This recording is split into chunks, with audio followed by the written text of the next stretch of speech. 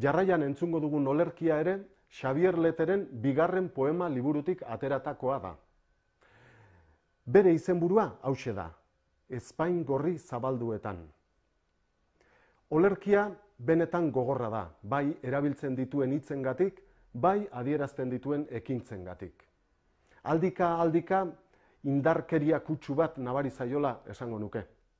Dena dela, olerkiaren azken ahapaldian gure maitasun neurririk gabea aipatzen duenean aurreko ahapaldietan esandakoa azaldu nahian edo dabilela esango nuke.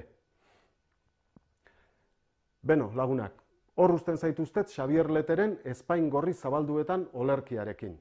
Eta errezitaleariaren jarduna bukatu ostean, badakizue zer egin behar duzuen.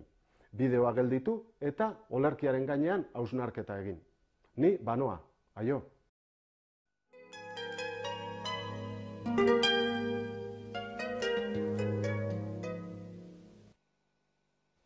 Espain gorri zabalduetan lastantzean, suzko hortzez zodolduko zaitut. Karizia haietan larrosen arantzek zure aragia urratu eginen dute. Nire eskuleguna burdinezko atzaparrez, zure zintzurrean estutuko da. Desioaren ezpatak altzairu gorituak bezala erre eta zaurituko zaitu.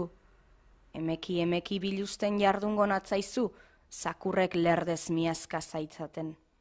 Zure gerri eder zuria silizioz lotu ondoren, dantza apasionatu batean bilduko gera. Eta gure maitasun neurririk gabearen zoritik, algara oinazetsu eta deiadarik karagarriak irtengo dira.